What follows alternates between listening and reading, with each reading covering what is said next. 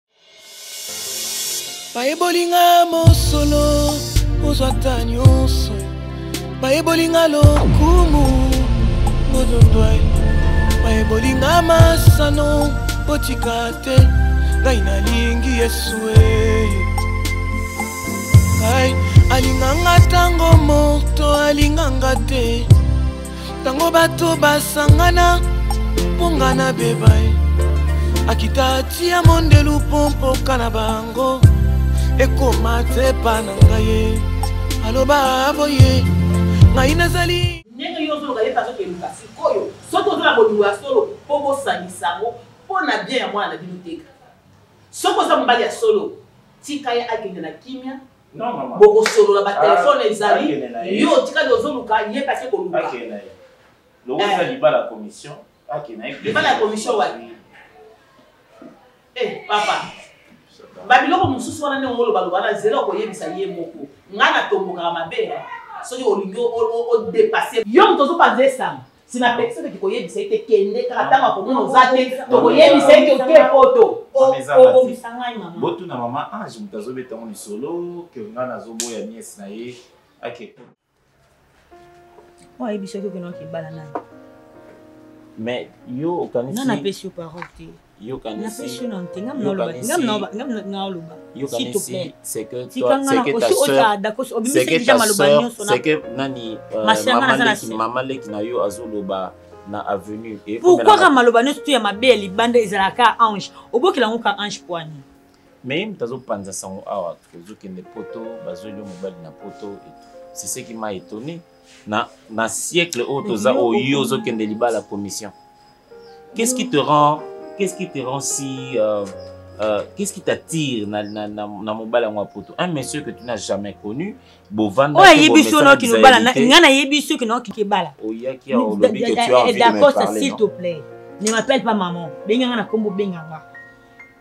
écoute-moi écoute-moi baproblème ebungisa yo babonne manière te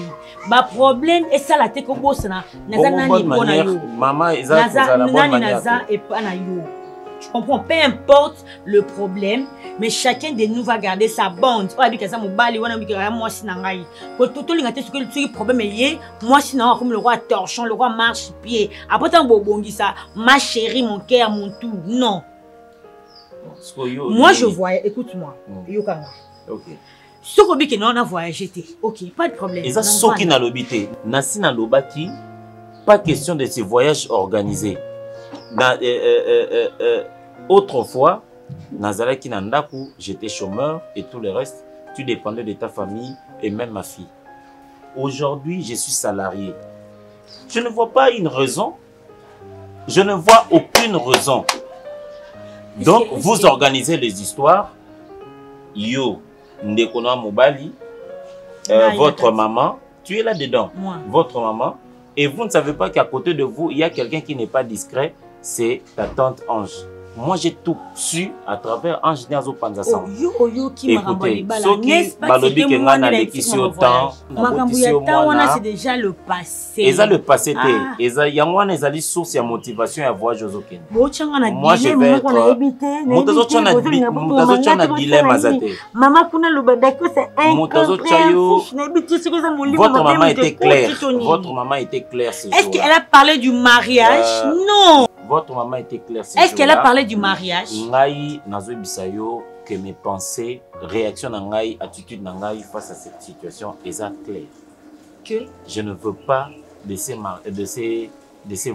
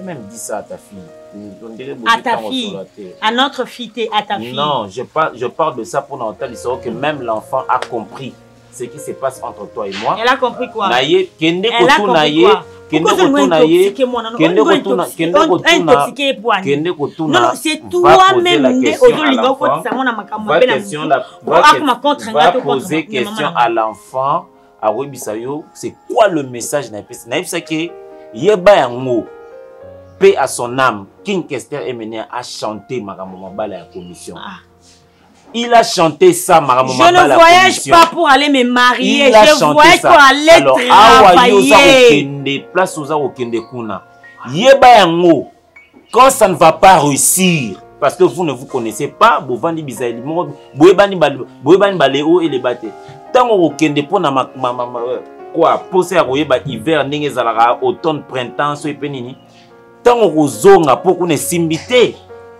eh, ma chérie je te réserve eloko bazoloba mikolo oyo nini oyo ya la popo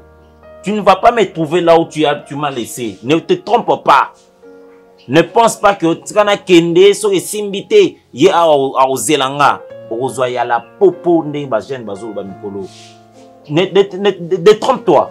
Parce que je suis en train de tout gaspiller comme ma salive ici pour notre talisa yo que je connais nzela ozo kende na ngwana ba ba fille ebele ebele ebele ebele ebele eh, eh, eh, bakenda mabala ya ba, ya, ba, ya commission akomi kuna soit akuti mobali vadio batindele photo ya elongi ya pamba soit akomi kuna akuti mobali toko to balukelaki ye mwasi ya kolukela mpo na komite wana na communauté wana aza na comportement ozwa mwasi te alors balukeli mwasi awa na afrique bamemi Toi maintenant, comme tu es attiré dans ma ligne à hiver, et pourtant, tu es attiré par ma ligne à hiver, ce que l'engia au monde, euh, euh, euh, c'est pas moi ce qui tout refait,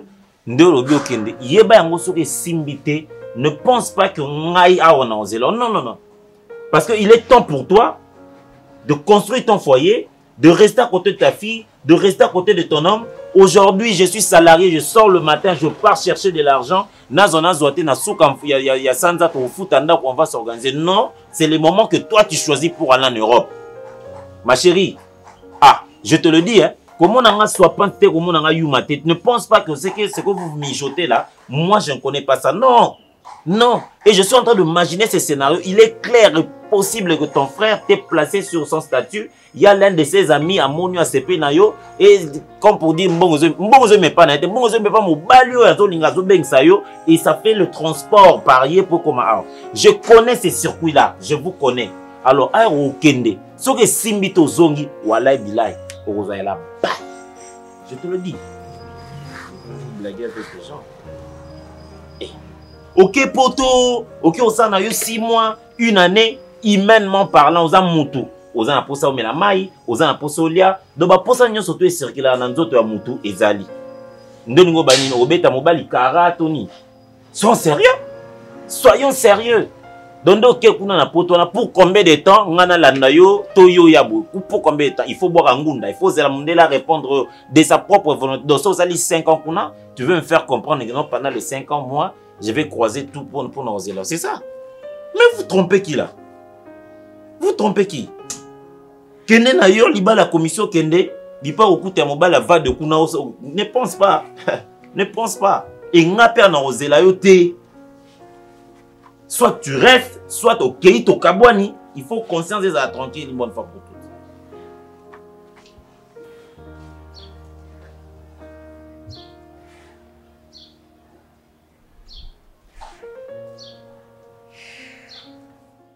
Alors il y a d'accord, nga na kuyibisa yo. Papa na si na boyaki likambo wana. Non, non. Oyibi tango mosusu sokoli omema yango na ndenge olingi omemela yango wana obima ndoki epamba mwana wana ntina ndenge ye moko azali d'accord ya kokenda yebisa ngai na makambo ya voyage wana yo oti combien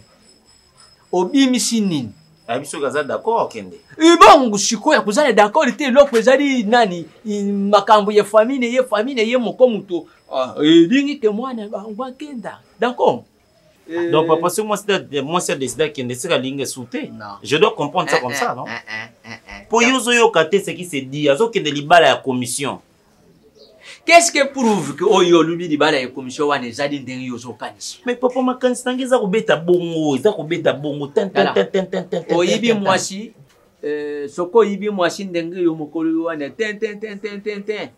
ndenge makanisi nini eza kobetela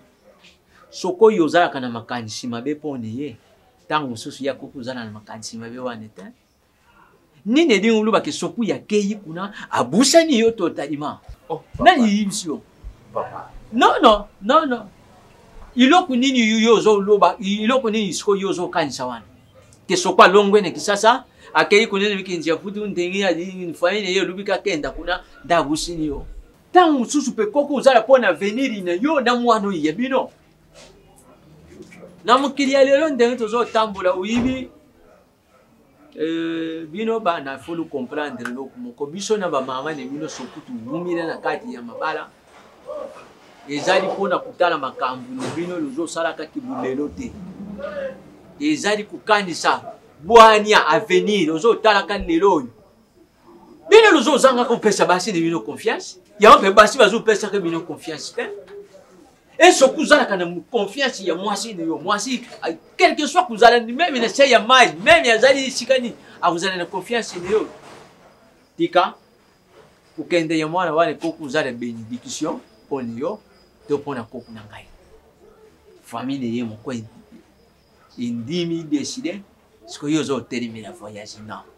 non yaya mwa ndambo ozozwa wana na mosala ndenge obandaki wana ekoki mpo osunga yo ezosunga mpe biso lobilobi mpe yo okoki kosala polande mwasi nayebi ke malili ya mo 3 degre wana okoka mo te d'accord et s'il faut résister à ça pendant une année deux ans trois ans papa d'accord moi je ne saurais pas oyebi ke nga moto nabuteli tanke tata na yo Mais nayibaka te ke suka po yibaka nzembo ya iyo fela. Nzembo nzembo lutumba yemba. Akenaye. Hmm? Savoir papa Akenaye. Okolo yango na njili liboso ya kumatene pe bwe na bongoli misu. Tala. Oyo ozokanisa mwai wana mwai wana ezolakisa posene yo ozalaka na yango yango wana odingi olatisa ngo mwana ya bato non non même pas akende na ye papa akende na ye lokola ye aconvaincre yo eh. pas de problème tosodulaki ezali likambo ya convaincre te ezali nango nake na nga kasi nabimiseli yo keti to nabimisesa non natiaki déjà tout kuna tika longola na yo makanisi wana akende na ye lokola ndeko na mobali ya asi abongiseli ye makambo nyonso sava naboyi nabima ndoki na ye un jour eh. Bozui bobomi mwana bino et aujourd'hui beau frère se présente pour ayebisa nga non je dois arracher l'enfant nakende na poto qui lui dit que moi ici je suis un, une, euh, euh, un, euh, un irresponsable attitré mpo nazwa mwana nasundola ye après avoir perdu sa mère na bacirconstance oyo jusqu'à ce que je parle là eza mystérieux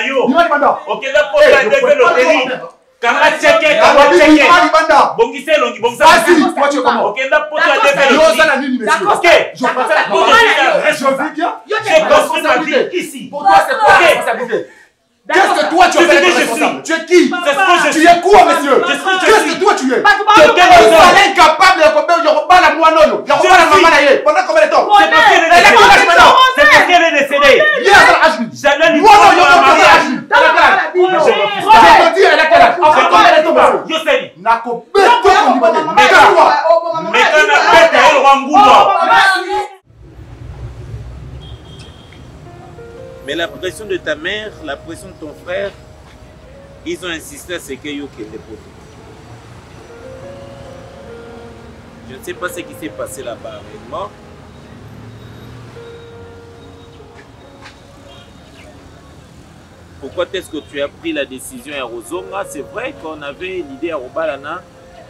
mais en, enfin arrivé à Kinshasa babomi yo makanisi ezotambola nyongo nani ozwaki likambo ya nani ozalaki nango pour que ba permettre yo même pas omona nga tobala et tout ça euti kaka na mambo ya poto à travers kaka ndeko na yo kaka ndeko na yo ronel ye kaka moto ayaka na mambo ya poto apres mambo ya poto ekoengendre mambo mosusu c'est comme si kokende na yo epesi leson te là il revient abotolanga teka les gens qui t'ont tué ti lelo nga nayeba bango te liwa ya somo babomi yo epesi famille na yo leson te bakati yo nzoto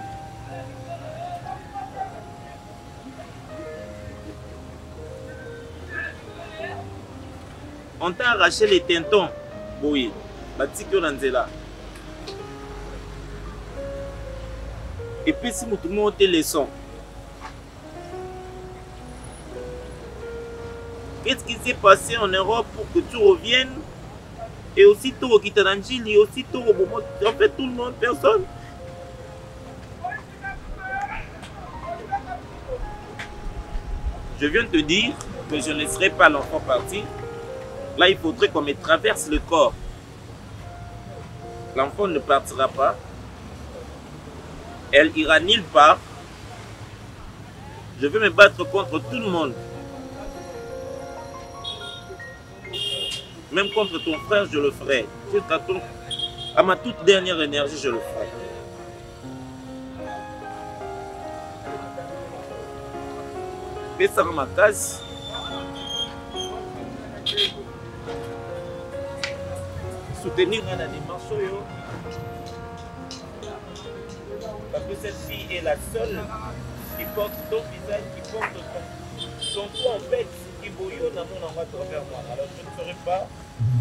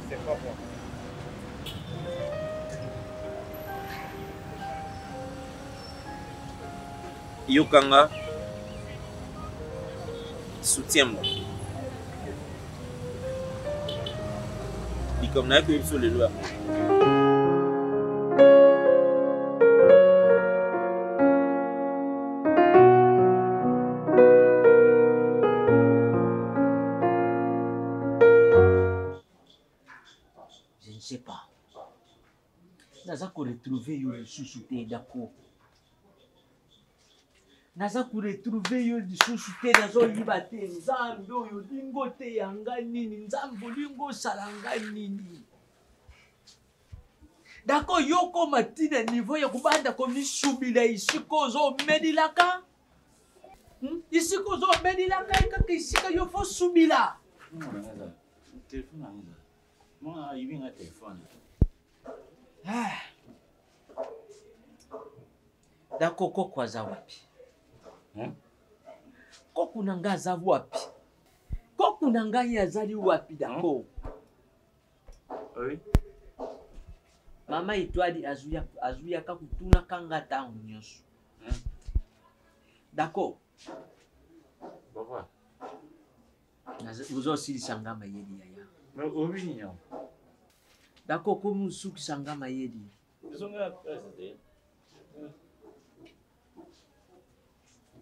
yaya tala nga bien tata neyo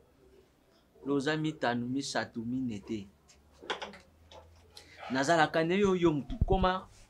kula ndeku na ngai mama na ngai leki na ngai mwasi na ngai nyonso ya ngai na yo nako ilelo likolo ya arti oyo mama oyo olingi ozongisa biso na kobeba noyo tozalaka na yango ya kala hmm? biso bato si tobongisa na biso comprehension ekota kokufa ya kadozo lelo oyo yo dako iloko nini oyo esali ke yo ikoma ikomisa yo ti na niveau ya, ya badepression depression partout siko ozali omeli na yo mpe olali leli moko batongoli yo hey, tokili intelo mm. bakosela na makambo bayibi nga mbongo na ngai ah. nakolobela bango zambi mon argent c'est tout avec le, eh. le, l'argent de ton argent a fait quoi il est, il est volatilisé ah moto ya kwiti ya intelo na niveau ni yo mbongo na yo moko mbongo na yo moko fo ekoma okomisa yo na niveau oyo esilisi yo meme swe ya nzoto susi na ngai ezali nayeba nde mwana azali wapi nazolinga nayeba nalukila mwana koku na ngai na kokenda olukili ye esika nini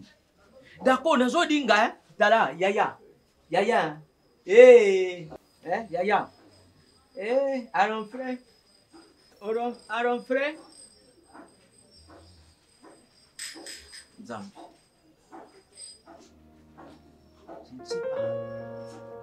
Qu'est-ce qui m'arrive Biloko nini Dako oza na posa nga na kufa ban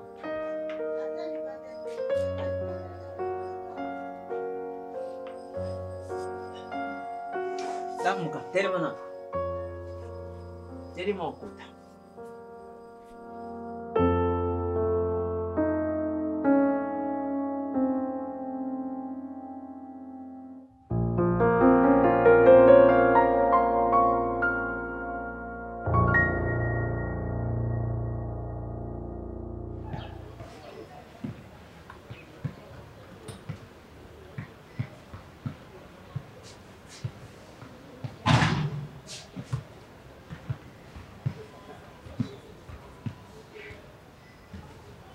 ah ye mpe mwa mwasi oyo alalaka te oyo votre correspondant eswati te baninga balalaka mpe te eh, yango ye oza natikela ye nano voice ozalaka na mobali te ata babengi motu eh, une heure alali yo yo oza wana mpona kozwa telefone na na place na yo pona oh le correspondant votre terre et et et yo ozalaka na mobali te batindela ye message quelqu'un appelle à minuit si le téléphone son téléphone est éteint naturellement ça ne peut pas sonner et personne ne peut répondre Comment moi j'appelle mon frère à minuit le, le téléphone ne passe pas parce qu'il est éteint. Mais c'est la voix d'une femme qui dit le téléphone de votre correspondant est sorti. Yo moi soana olalaka te oza mpe na mobali te yo ozalaka na service heure nyonso de 7 heures jusqu'à 7 heures ozalaka na service pour répondre mobali na yo adeklaraka yo te eh! mokili tambola omona makambo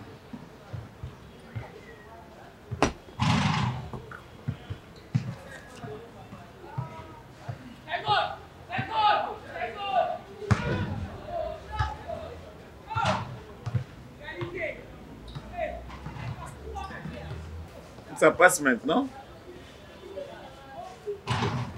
Allô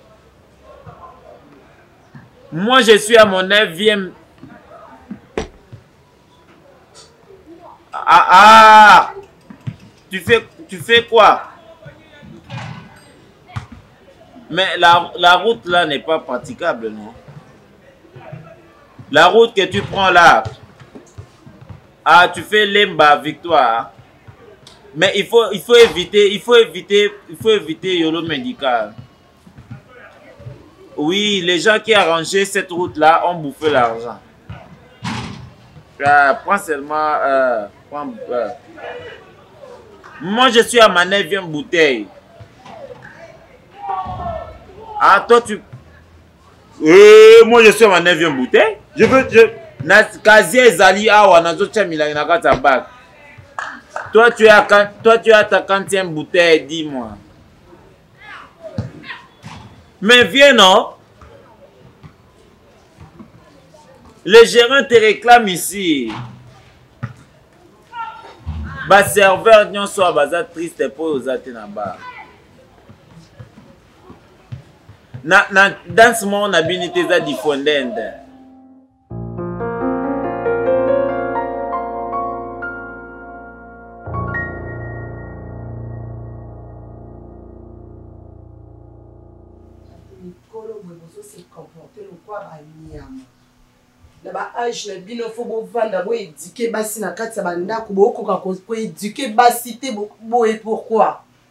donc ndako na nga kotransforme yango na bar moko boye nkombo na yango nayebi te e papa eza nini finalement ngai nakendaka toujours na bar na bouteille na ngai na vidange soki nasombi masanga bapesaka ngai moi je donne papa mm. nazo comprendre yo te en fait présence no awa eza pourquoi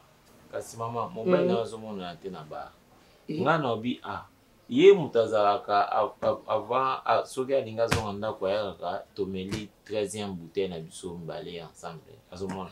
so nabengi ye o oh, aza aza occupé azo aza et cette fois-ci ayebisi yo ki aza awa oyo oluka ye awa s'il te plaît nalingi nayebisa oboye bima na via mobali na nga papa dacosta tozala bien je ne veux pas être impoli envers toi non non non non non non soki yo oye koluka mobali na nga awa oye nde mpo meka nga parce que yo oyebi combien bakwiti na bino oyo edestabilise foyer na nga nga na mobali na nga toza uni te du coup notre foyer ekoma instable ah bon? comment bokoki kose comporte lokola banyama boye yo zwa mwana na yo oye otike na kati ya ndako oyo une fille qui n'a pas d'éducation ta fille elle est très mal éduquée au-delà de tout je m'en fous d'elle nayebi ye même pas Maman na ye nde po akufa mais maman na ye azalaka koéduke malamu hein. mais la maman la aza na famille na ye quand même dis moi un jour famille ya mwasi wana eya awa eye okuta nga na mwana parce que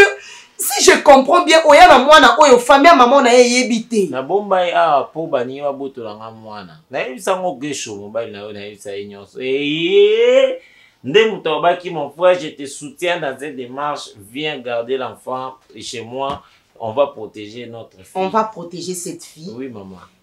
Le comble ozwi mwasi ya bakwiti lokola yo na ye opesi mobali na nga jusqu'à ce que alangwisi mobali na nga je ne sais pas soki amelisa ye nini gesho akoma omoni nga soki amoni nga abengaka nga corneli corneli aza nani aide moi s'il te plaît Mama. Omoni ajoute moi une bière. Je vais te relater ba makambo ebele. Ngai nakati mutu na nga. Nanu namona gesho na mwasi mosusu te. Nga moko mwasi na ngai akufa. Monsieur. Omoni mama mwana oyo ovandisi awa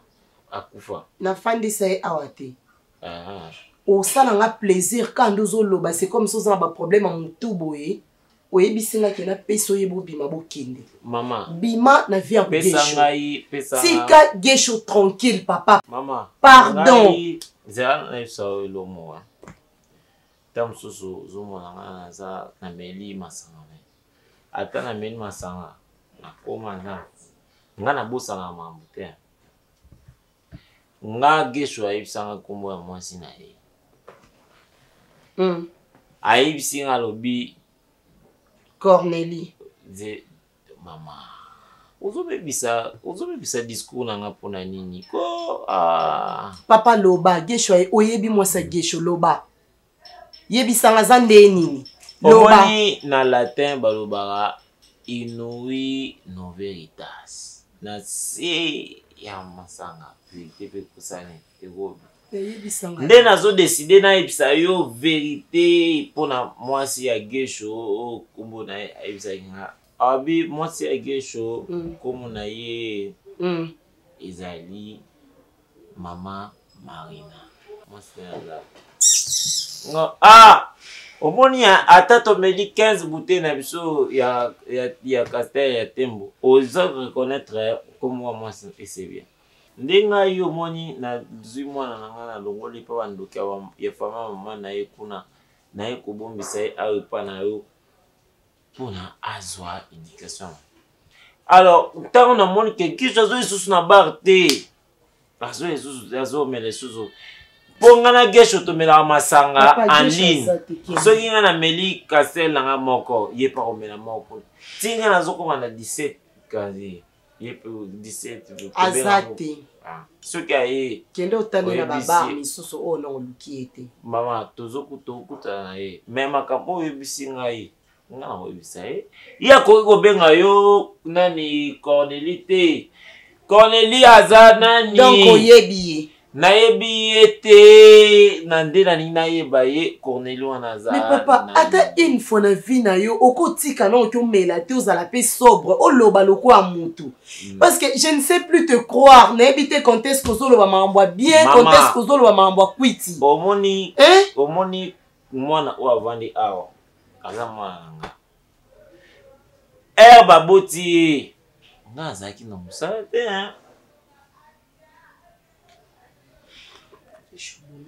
ale akoli ere akoli nga mpe nazwi mwana na nga napesi ye masanga nde omoni avandi awa na nkombo ya bato nyonso bamelaka masanga na mokili oyo na nkombo ya bato nyonso bamelaka masangangai na etuni gesho korneli nde nani question nga nakotuna ngeso yango soki tokutani kuna epa ya jo opesa mwana akoyisa ye papa epasi olati bien te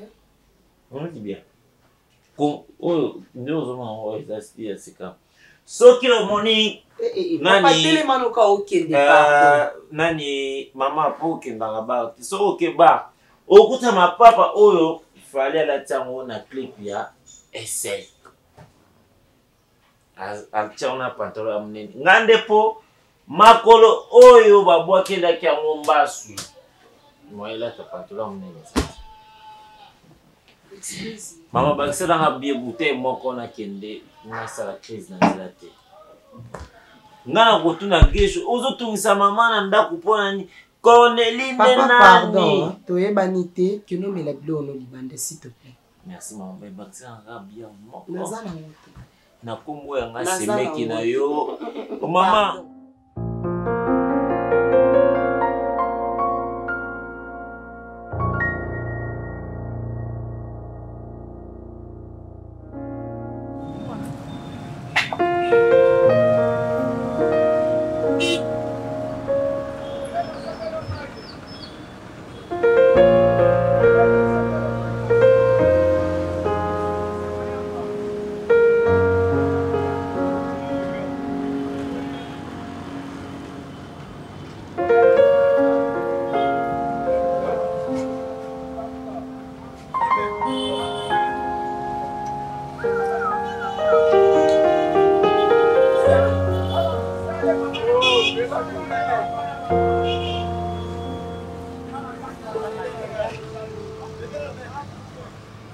osalanga mabe osalanga mabe makasi cardozo otali mama te Yo siko ntango okufa okanisaki nini? Yo ntango okufa okanisaki nini? Okanisa kotikela na teka.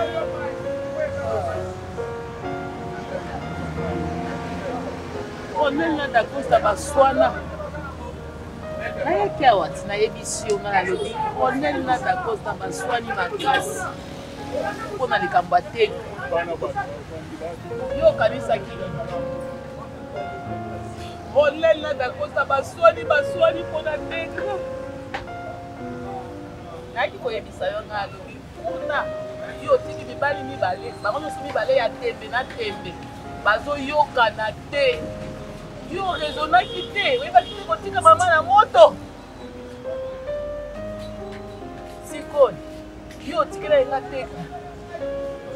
Dacosta azwi tegra yango ndenge boye biso lelo ngai naomona esu tegra te cardozo mobali no aza mabe azwi tegra ke na ye na tre oyo nazokanisa nalongola ye tegra napesi ata komodo cardozo nazongisa yo kaka ntango ndaki napesi ye cardozo dacosta ye azwi tegra ake na ye nde naoloba nao boye awa nayebi koteteka aza te ozomona te yaya okangi motema mpe obandi kaka awa okozonga te oya koluka solutio ngai nazokoka na ngai te ti sikoyo nde naoswana boye nayebi koteteka aza te kardo ozozomona te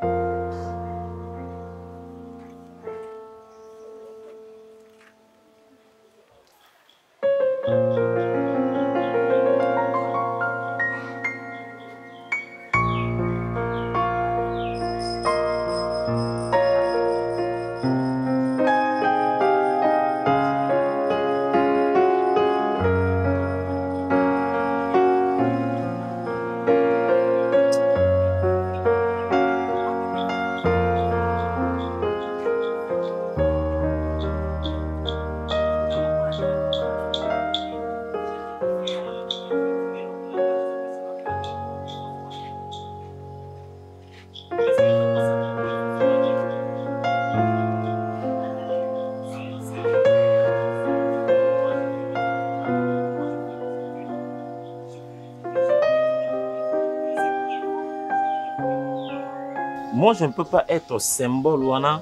ya comment je dois dire ya bato bamipesaki na classe après asuki na cabine ça n'a aucun sens et puis écoute regarde un peu na vie na biso oyo combien combien sont ces jeunes oyo bazwa ya badiplôme après nga bakomosala lelo parce que